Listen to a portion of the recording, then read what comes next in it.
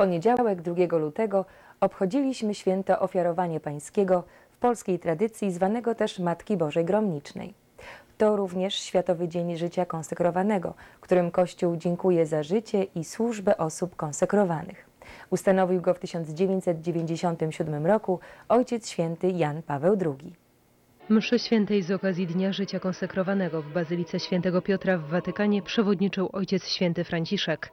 Papież mówił, że Jezus wskazał nam nową i żywą drogę, którą jest On sam. Otworzył też pewną drogę dla osób konsekrowanych, którą jest posłuszeństwo. Il Ewangelia pięciokrotnie podkreśla posłuszeństwo Maryi i Józefa wobec prawa pańskiego. Jezus nie przyszedł, aby pełnić swoją wolę, ale wolę Ojca. I to, jak powiedział, było jego pokarmem. Tak więc ten, kto idzie za Jezusem, podąża drogą posłuszeństwa, jakby naśladując jego kondensację, uniżenia samego siebie, utożsamienia swojej woli z wolą Ojca i to aż do unicestwienia i upokorzenia samego siebie. Dla osób konsekrowanych droga ta przybiera formę reguły naznaczonej charyzmatem założyciela, podkreślił Ojciec Święty. Papież zwracał uwagę, że poprzez wytrwałe podążanie w posłuszeństwie dojrzewa mądrość osobista i wspólnotowa. W ten sposób możliwe staje się dostosowanie reguł do danej epoki. Il rinvigorimento. Ożywienie i odnowienie życia konsekrowanego zachodzą poprzez wielkie umiłowanie reguły, a także poprzez zdolność do kontemplacji i słuchania starszych zgromadzenia. W ten sposób depozyt charyzmat każdej rodziny zakonnej jest strzeżony zarówno przez posłuszeństwo, jak i mądrość. W Polsce w ponad 180 zgromadzeniach zakonnych żyje ponad 36 tysięcy osób konsekrowanych.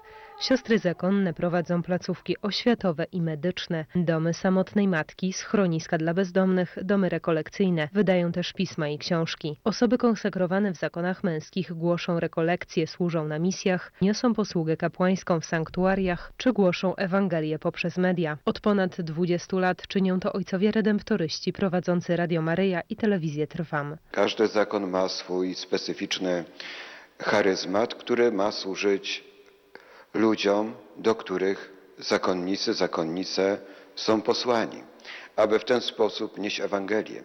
Czy będą to zakony misyjne, czy będą to zakony monastyczne, każdy ma swoje konkretne zadanie. Podczas sprawowanych dzisiaj mszy świętych dziękowano Bogu za dar życia konsekrowanego. Modlono się również o nowe, liczne i święte powołania. W Bazylice Katedralnej świętego Michała Archanioła i świętego Floriana w Warszawie uroczystej Eucharystii przewodniczył ksiądz arcybiskup Henryk Hozer, biskup warszawsko-praski. Dzisiejsze święto światła Chrystusowego jest jednocześnie jedną z warstw fundamentu, które kładziemy na tej skale, jakim jest Jezus Chrystus.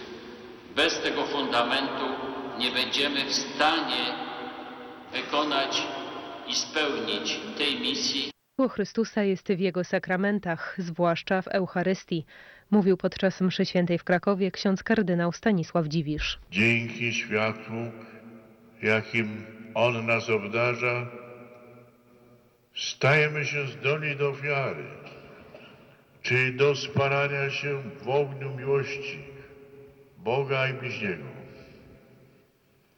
Wtedy przypominamy świecę, która się spala, wyniszcza, ale daje światło, bo po to jest. Takie jest jej zadanie. Taka jest logika daru. Taka jest logika miłości.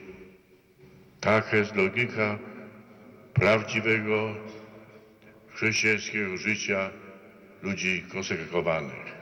Tegoroczny Dzień Życia Konsekrowanego obchodzony jest w szczególny sposób. Rok 2015 został ustanowiony przez Ojca Świętego Franciszka rokiem życia konsekrowanego, który przebiega pod hasłem Ewangelia, proroctwo, nadzieja, życie konsekrowane w Kościele dzisiaj.